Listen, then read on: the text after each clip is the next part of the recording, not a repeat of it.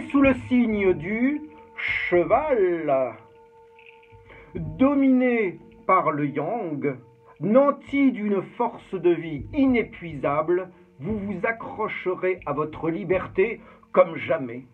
La moindre obligation vous donnera le sentiment d'être asservi et vous mettrez toute votre ardeur à vous défaire de vos chaînes. Difficile dans ces conditions d'imaginer une vie professionnelle stable, bercée par le ronron du quotidien. Caressant le rêve d'une vie de couple en accord avec vos principes, le cheval que vous êtes fera face à des déceptions parce que vous craignez la solitude, vous souscrivez parfois à une existence traditionnelle contraire à vos valeurs. Amour et rencontre. Le comportement de votre partenaire vous blessera dans votre orgueil. Votre confiance en lui sera sérieusement ébranlée et vous déciderez de vous en ouvrir à un signe ami comme le coq ou le cochon. Rappelez-vous que si vous êtes en couple, c'est que vous voulez, que vous avez des objectifs communs et des perspectives d'avenir. Expérimentez-les, lâchez prise, surtout quand vous aurez envie de monter sur vos grands chevaux.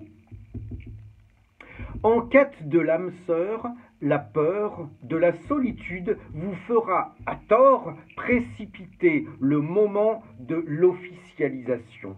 Se caser n'est pas un passage obligé. Travail.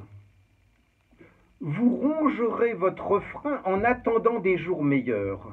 Braqué, vous peinerez à vous extérioriser et à exprimer vos frustrations. Le buffle vous mettra sur la voie du dialogue. Grâce à lui, vous cesserez de végéter et, bonne nouvelle, l'argent ne sera pas une denrée rare en 2021. Et c'est toujours bon à savoir. Votre ambition trouvera à s'épanouir ailleurs que sur votre lieu de travail habituel. Vous vous tournerez vers une activité bénévole qui pourrait bien déboucher à terme sur une reconversion.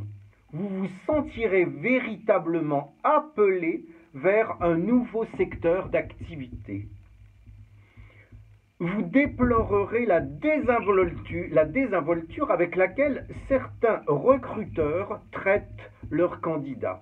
Ce mépris vous donnera un fort désir de revanche sociale.